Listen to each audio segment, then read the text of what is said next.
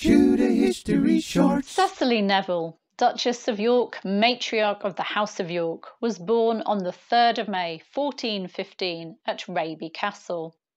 Cecily was the daughter of Ralph Neville, 1st Earl of Westmorland, and Joan Beaufort.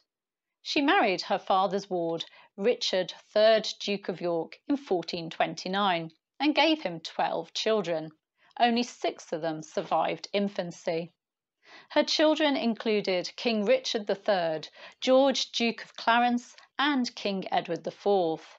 She was the grandmother of Elizabeth of York, Henry VII's wife, and the great grandmother of Henry VIII.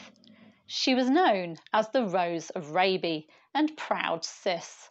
She died at the age of 80 on the 31st of May 1495 and was buried at Fotheringay with her husband. Tudor History Shorts.